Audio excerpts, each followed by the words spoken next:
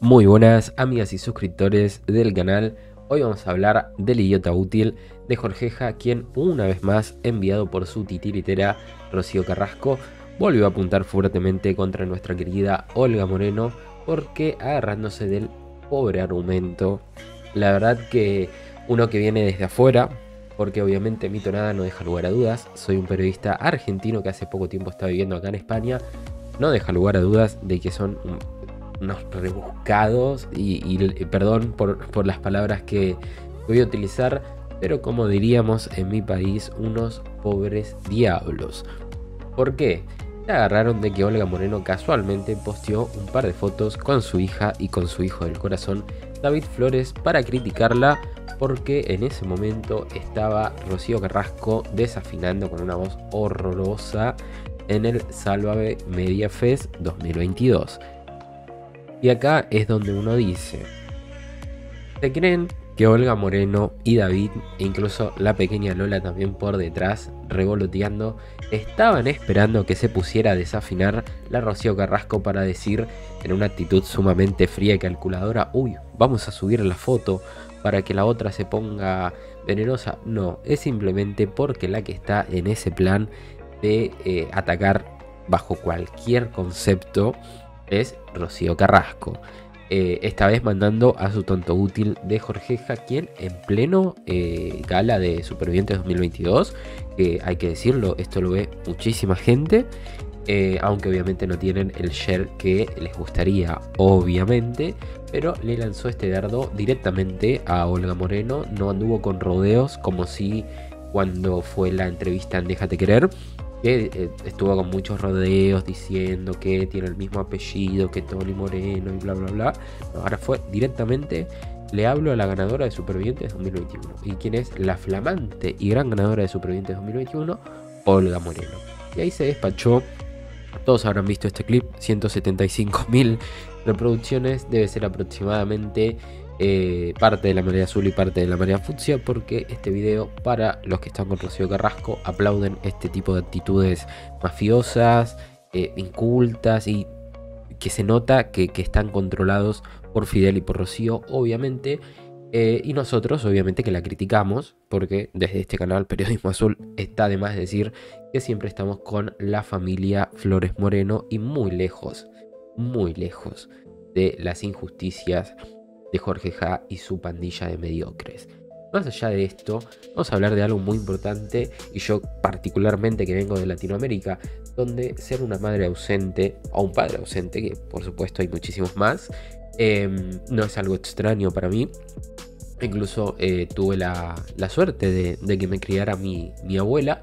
Eh, he de decir que es muy fácil ser una madre ausente, como lo es Rocío Carrasco, pero a mí me duele un poco más por parte de Rocío Carrasco, porque no solo es una mujer poderosa, no solo es hija de quien es hija, sino que además eh, los chicos estos, eh, David y Rocío, y sobre todo David Flores, eh, que es un chico especial, evidentemente, em, tuvieron la suerte de tener a Antonio David Flores y a Olga Moreno como padres. en realidad tuvieron la suerte de que Antonio David Flores se cruzara con Olga Moreno. Porque vamos, vamos a hacer este pequeño ejercicio.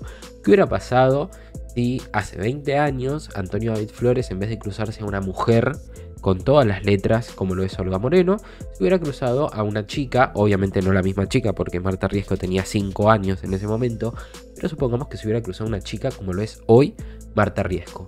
¿Qué hubiera sido de la vida de esos chicos con Rocío Carrasco completamente ausente, desentendida e incluso, según la versión de Rocío Flores, un poco pasado de la raya por no decir otras palabras, porque es evidente que hubo un maltrato hacia Rocío Flores, es evidente, y lo digo sin ningún tapujo, porque yo vengo de otro país, pero traigo conmigo, en, mi mochila traigo muchísimas experiencias de vida y el maltrato no me salvo completamente ajeno y con todo lo que tenemos sobre la mesa es natural saber que ahí hubo una relación de maltrato. Y si Rocío Flores en algún momento reaccionó contra ese maltrato, yo sé que vos que estás escuchando esto vas a entender todo lo que sufrió esa chica por si alguna vez le levantó la mano a su madre, como dicen los jueces que pasó, porque no sabemos qué tan real fue eso. Y también sabemos que Rocío Carrasco es una manipuladora de muchísimo cuidado. Así que, no sé. Pero más allá de eso, ¿qué hubiera pasado si Antonio David Flores hubiera conseguido a otra persona que no sea la excelentísima Olga Moreno, que hasta incluso a día de hoy el amor que le tiene a esos chicos es tan grande que estando separados lo cuida como si fuera su propio hijo? Porque en realidad es su propio hijo, es su hijo del corazón. Y la verdad es que estos ataques, yo creo que con la familia Flores Moreno se metieron con todo lo que se podían meter. Con todo, absolutamente todo. Desde la plata que tienen en el banco hasta la ropa que se ponen, pasando por todo lo que hay en el medio.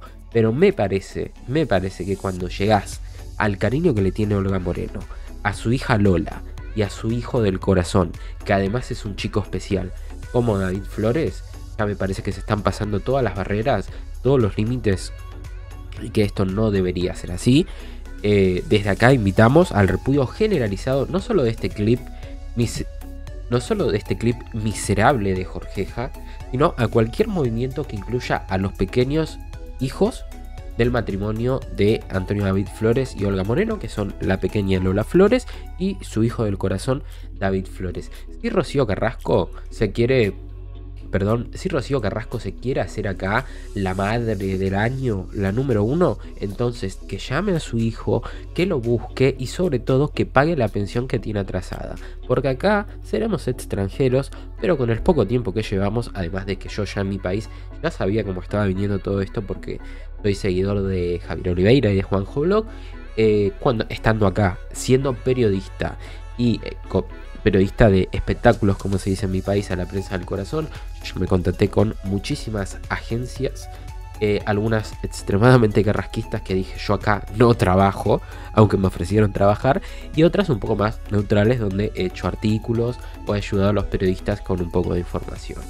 Eh, más allá de eso, al margen, eh, invito a todos al repudio generalizado de, estas acusaciones. Si se quieren meter con Olga Moreno, si se quieren meter con Rocío Flores por su vida superficial, por lo que dijo en el plató de supervivientes, por la cirugía estética que hicieron, métanse. Aunque es un golpe bajo, no hay problema con eso. Pero creo que cuando meten a los chicos y Lola Flores es una niña, David Flores es un chico especial, eh, Rocío Carrasco no quiere ver a David Flores, me parece que están metiendo la pata en el barro. Espero su opinión en la caja de comentarios. Espero que les haya gustado este análisis con mi voz. Trataré de traer más a medida de que pueda tener un poco más de tiempo libre. Y los invito a todos y todas a que se suscriban al canal ya somos 3.000 personas y eso la verdad que es un hito para mí, 3.000 personas. he escrito artículos en algunos medios digitales o he ayudado a periodistas eh, de la vanguardia, incluso fue el trabajo más grande que, me tocó hacer en el tiempo que llevo acá en España. Y la verdad, eh, pocos artículos llegan a las 3.000 vistas, porque si vos tenés una página web, podés ver la cantidad de gente que entra y demás. Eh, entonces me parece que yo tener 3.000 suscriptores es un honor. Espero tener muchísimos más, pero para eso necesito tu apoyo, tu suscripción y obviamente tu valentía porque estar del lado de la marea azul y del lado de la familia Flores Moreno es ir en contra de todo este oligopolio televisivo miserable que no van a descansar. Todos pensábamos que Sálvame se iba a acabar y Sálvame sigue más vivo que nunca, ahora le dieron el sandía. Así que la lucha recién comienza. Hasta la próxima.